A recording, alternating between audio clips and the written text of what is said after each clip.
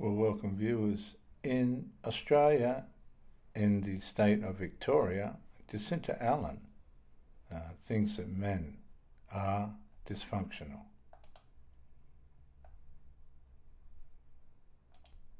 24, the officer responded to a store following a report of theft. The initial report indicated that an item had been stolen, but specific details were unclear. Upon arriving, the officer's task was to investigate the situation thoroughly.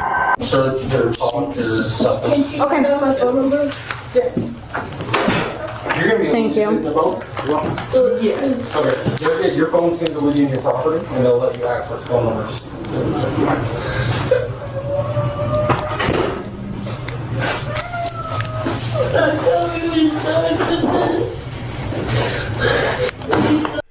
What you've got to understand, viewers, is a lot of these mothers try and idolize themselves with their children.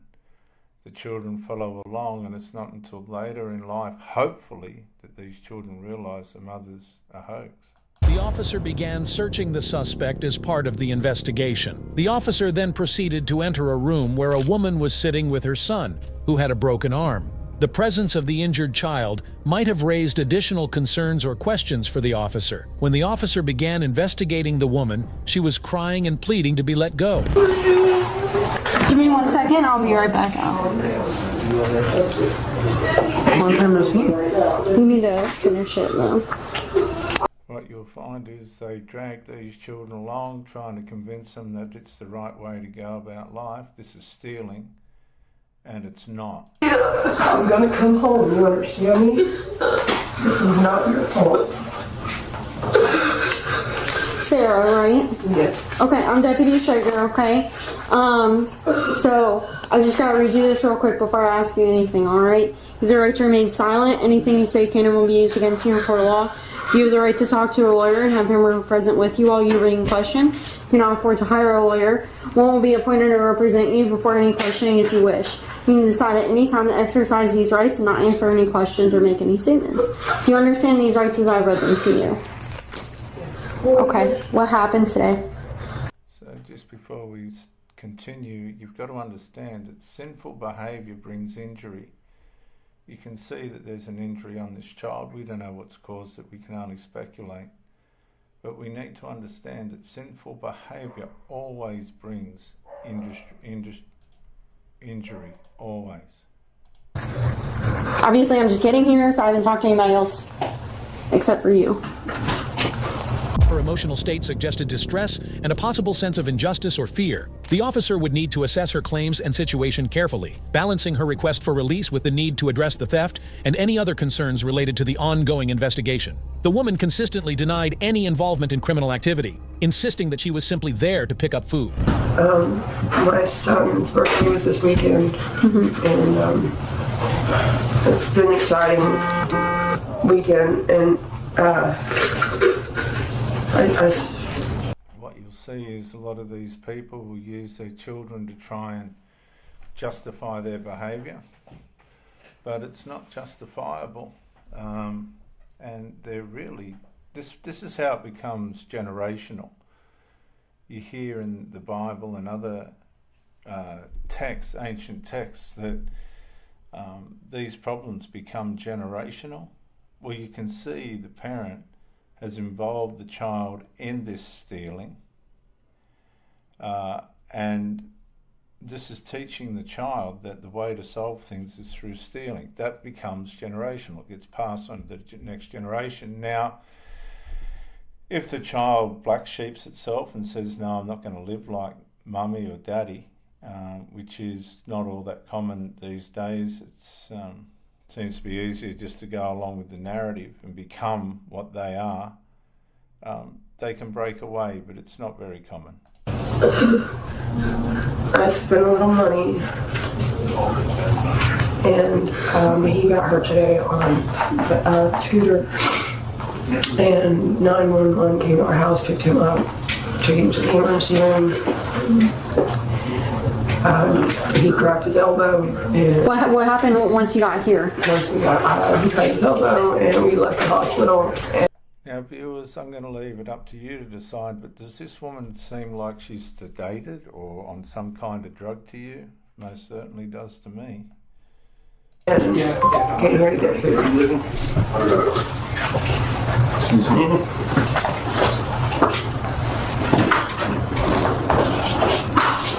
If you want, do you have somebody that can come pick him up? He's coming. Yeah, sorry. Okay, do you want to wait until your son's on here and we can talk after that? No, it's just me and him between. Okay, It's just me and these two boys. okay. Okay, so these parents, these usually single mothers, as she said, it's just me and him, they'll usually try and keep the bond between the children via victim mentality.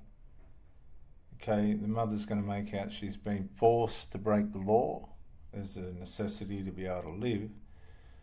And in the child's mind, this will justify that mum must have made the right decision, but mum hasn't. She's made the wrong decision. What happened here? It happened today. It just happened like two hours ago. I think we came here to get food from that when we left the hospital. So I I know she's already talked to you, but I've talked to them just a, just a touch. Um, so what, what did you? We know you stole items. That's not really in question. So what did you steal? Cat food, chicken. What I think those are the, and so I just want to say something interesting. A lot of these single mothers, parents, things like this, they have pet cats, ferrets, lizards, um, reptiles, rabbits, uh, dogs. They'll have dogs. And this woman's come out to get cat food and chicken. She's prepared to steal for the cats, which means she shouldn't have them because she can't afford to. Uh, and what will happen is if this woman meets a man that really suits her and is pleasing to her, she'll abandon all that. She'll abandon all that. She'll abort all that. She'll let all that go. She'll ab- abandon the child and all the rest of it um, to meet her desires and lusts through the new boyfriend. But you can see there's drugs involved, there's some kind of substances or something involved because the way her countenance is and her communication skills, they're not normal, are they? And it's clear to see. there was things that weren't scanned. Um, So did you just steal food items? Oh, so are those the things you stole? Okay. And why? And why did we do it today? Sorry. Sorry.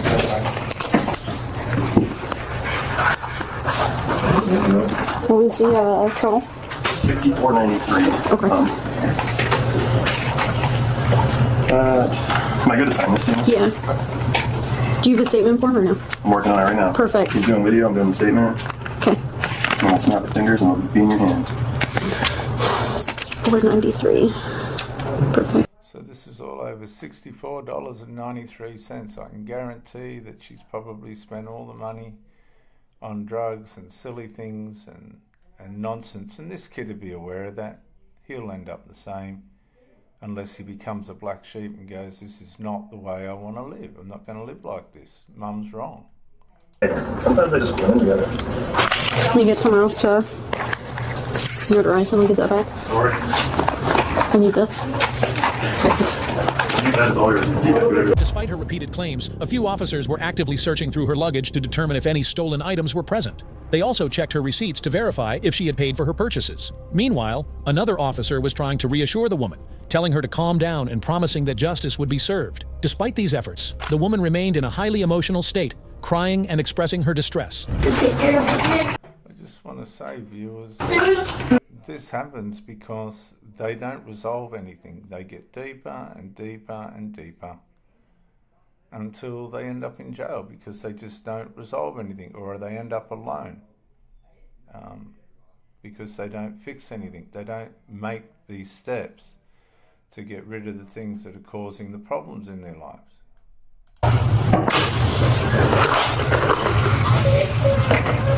Your whole bag is just gonna go with them.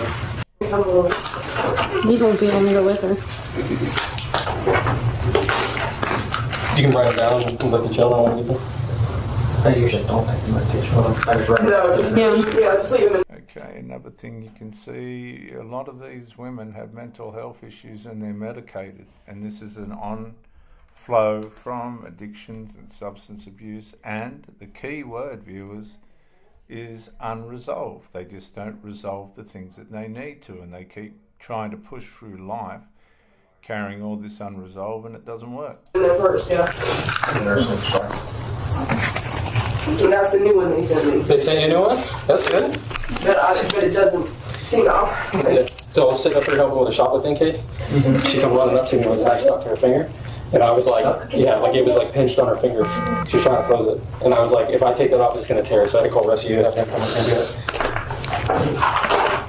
All right. So that is going to go with. And just let me say, guys, a lot of these medications and substances and alcohols and things, they become the priority, and these people um, run out of money. Sam, we got your phone. This is the stuff that you pay for that has been paid for, correct? Are you okay with this going with? With your son, your bag, and this stuff? Yeah, it's. It's just in my room. Um,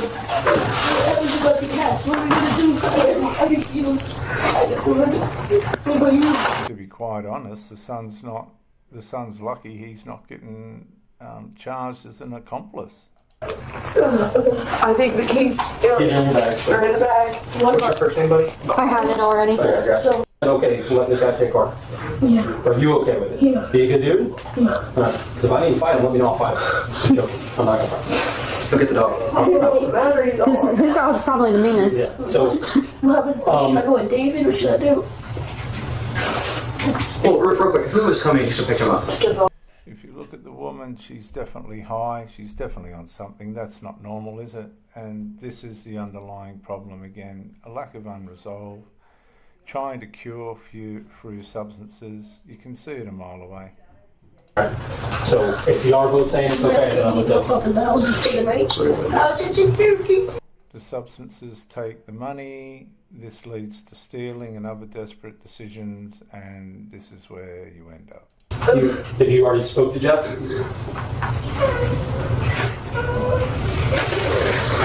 I'm so sorry. I'm so sorry. I'm so sorry. I got these. Oh, take it. Can you imagine the trauma and um,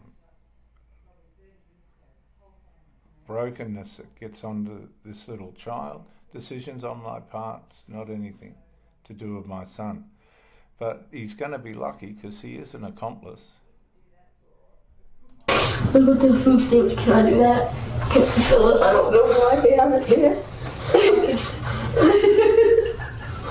How do I fill this out? Can I? So the son's going to be the little husband, the man of the house. This is all abuse, by the way. This is all bad parenting. What they would call this mother is, in psychology terms, is a dead mother. Vaknin's work, a dead mother, because she hasn't and isn't raising this child in a positive, wise way.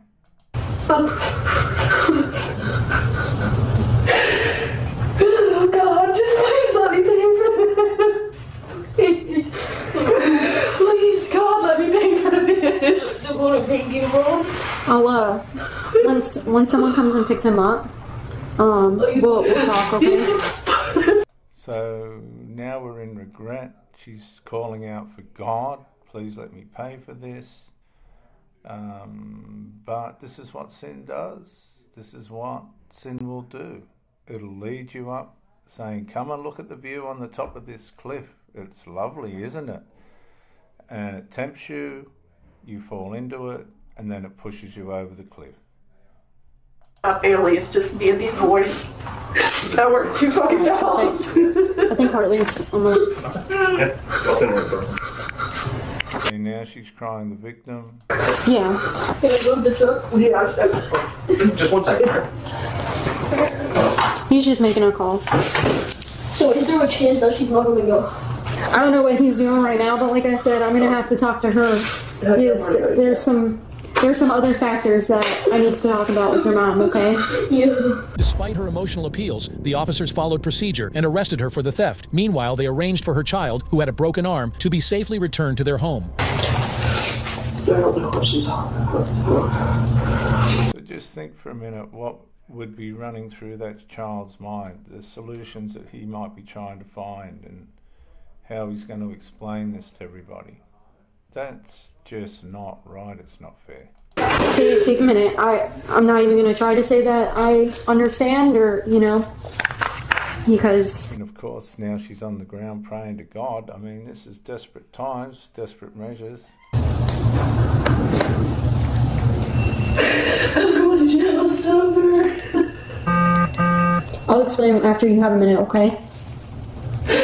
Bill, every day nobody goes to jail. You're busting fucked up on drugs. So to clean to me. that's, I mean, and obviously your son loves you so much. And I can tell you right now, Deputy Schmidt and I, like, our hearts are breaking right now doing this. Because if there were extra factors, Oh no. No, no, no. Are you on probation? Between the probation and then you have a non-extraditable warrant. Okay, so she's on probation. She has warrants, so that she's had it. She's um, she's had it. But when we have factors like that, I can't. that's the. I'm between the probation. That's felony. But there's nothing else that you guys think I did, right? No. Okay. Listen, listen. Take a moment, okay? I'm gonna tell you. I'm being so serious with you. If I had the option to let you go, I would give you a court date and call it a day, or forward charges to the state and let the state decide. But because of the failure to appear and you being on felony probation, I have to. Because this is literally breaking my heart right now watching this. And this is not what I would choose to do. The woman was eventually presented in court, where she faced charges of grand theft related to the store incident. And this is how it ends up. They don't resolve anything. They don't fix anything. And it just gets worse and worse until everything overtakes them. They're totally self unaware. They're not aware of what they're doing to their children. Uh, and it just ends bad. Sinful behaviour always ends bad. I'm Dr. J.W. Morrison, theologist. My grandson's just turned up. I'll go and spend some time with him. Bye for now.